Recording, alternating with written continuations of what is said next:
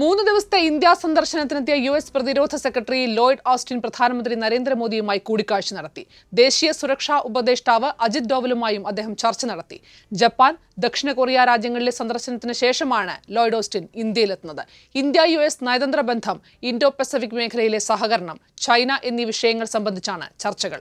പ്രതിരോധ മന്ത്രി Rajnath സിംഗുമായും Lloyd Austin ഇന്ന് കൂടിക്കാഴ്ച നടത്തും. വിദേശകാര്യമന്ത്രി എസ് ജയശങ്കറുമായും അദ്ദേഹം കൂടിക്കാഴ്ച നടത്തുന്നുണ്ട്. അമേരിക്കയിൽ നിന്ന് ഇന്ത്യ പ്രിഡേറ്റർ ഡ്രോണുകൾ വാങ്ങുന്നത് സംബന്ധിച്ചും സന്ദർശനത്തിനിടെ ധാരണയായേക്കും. അതേസമയം റഷ്യയിൽ നിന്ന് നാനൂറ് മിസൈലുകൾ വാങ്ങാനുള്ള ഇന്ത്യൻ നീക്കത്തിനെതിരായ അമേരിക്കൻ നിലപാടും കൂടിക്കാഴ്ചയിൽ അറിയിക്കും. റഷ്യയിൽ നിന്ന് S four four hundred missile വാങ്ങിയ തുർക്കിക്കെതിരെ അമേരിക്ക വിലക്കേർപ്പെടുത്തിയിരുന്നു.